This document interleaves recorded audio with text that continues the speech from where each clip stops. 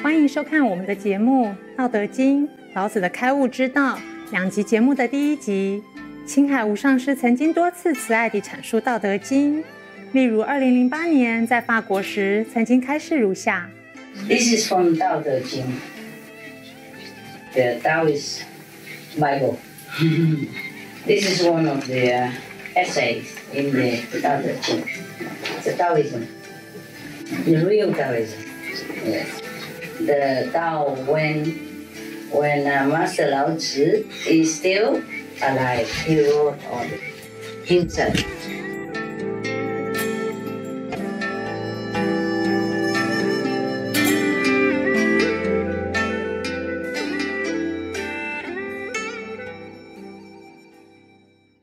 《道德经》这本经典之作是由备受尊崇的开悟名师老子所著。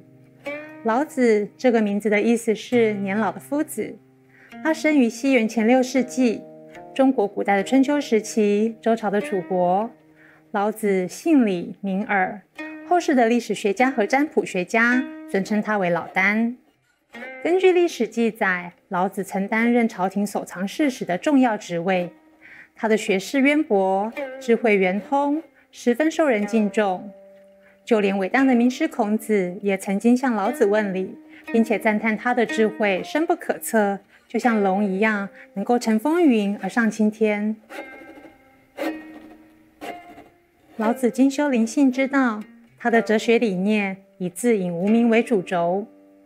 据说老子离开他的国家要出函谷关的时候，遇到一位守关人。他看出老子气宇非凡，于是要求他在出关前写下一些教理留给世人。老子所写的内容就是《道德经》，后来成为中国最重要的哲学与灵性经典之一。道教源自于老子的教义，后来封他为道教始祖，称他为道教传说中的太上老君。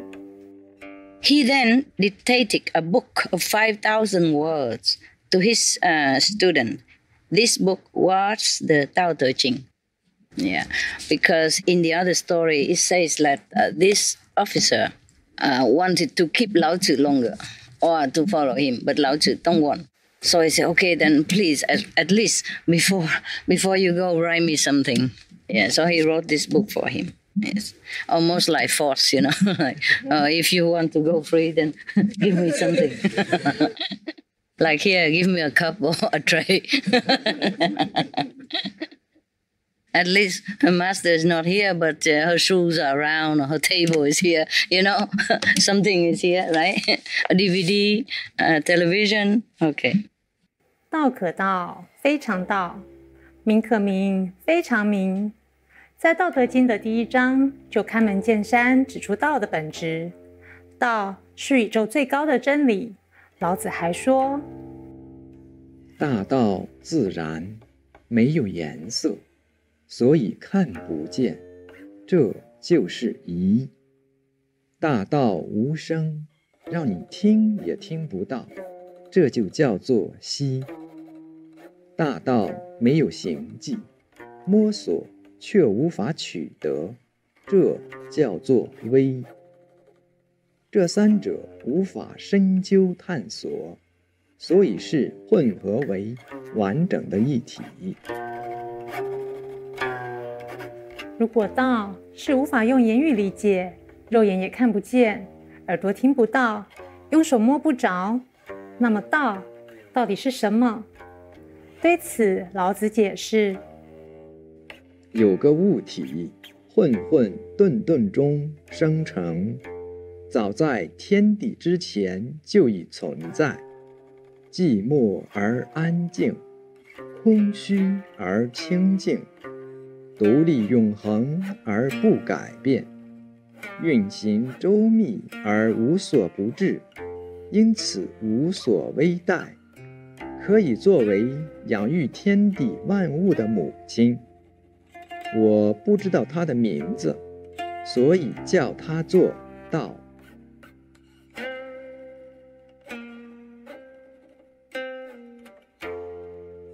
老子也称道为一或者古神。他说：“万物得一以生。山谷空虚而卑下，神明无言而空灵，因此永生而不死，就是玄牝。悠远而玄妙的万物母亲。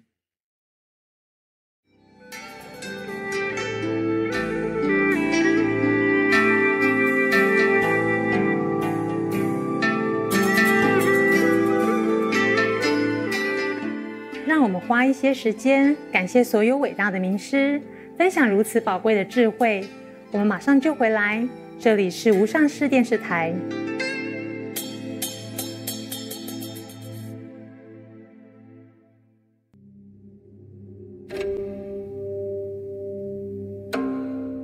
中国啊，中国人呐、如果没有看《道德经》的话，那跟汤没有盐巴一样。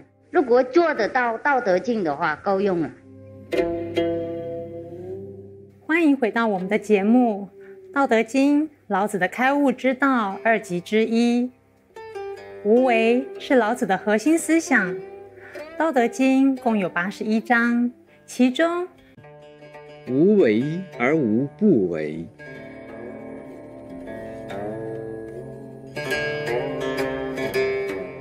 无为并不是消极不做事的意思，而是做的时候没有我执，是让我们顺应自然而做，让自己成为道的工具。这和佛教《金刚经》里的“因无所住而生其心”是相同的意思。上善就像水一样，水善于利益万物而不争取。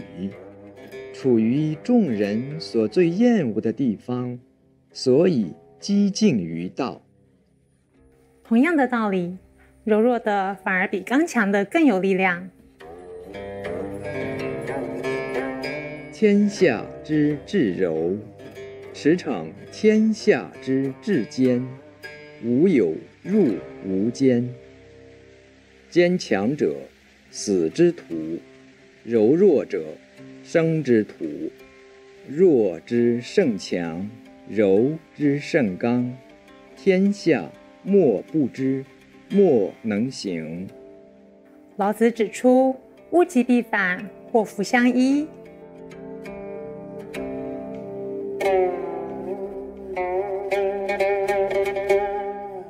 他说：“持有而又让它盈满，倒不如适可而止。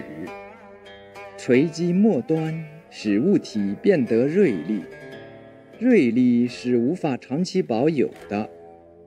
金银宝玉藏了一屋子，无法长期守护。”又说：“祸兮福之所以，福兮祸之所伏。”老子强调，修行应该返璞归真。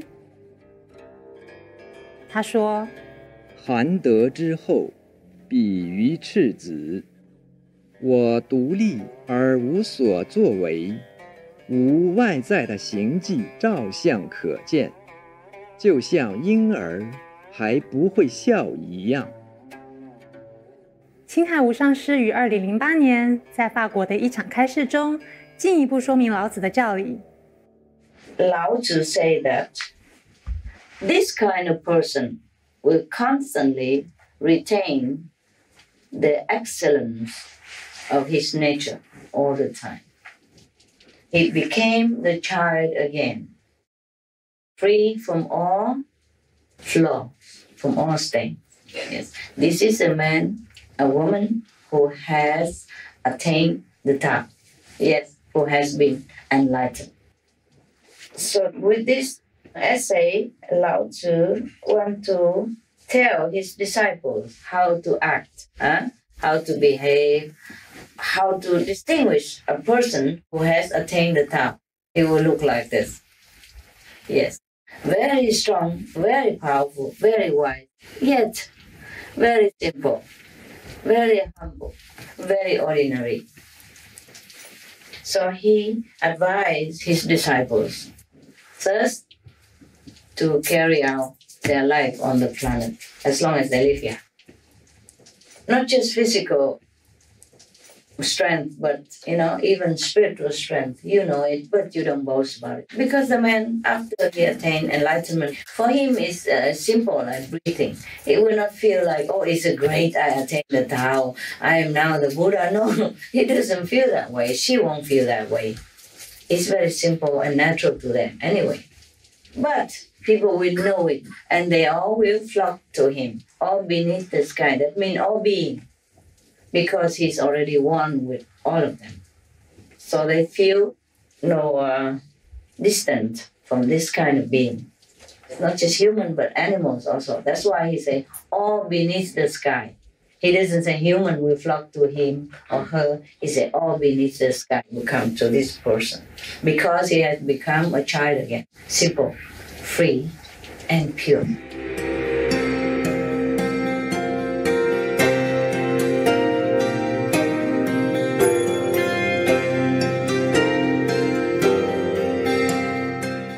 观众，今天很高兴与你一同收看《智慧之语》节目。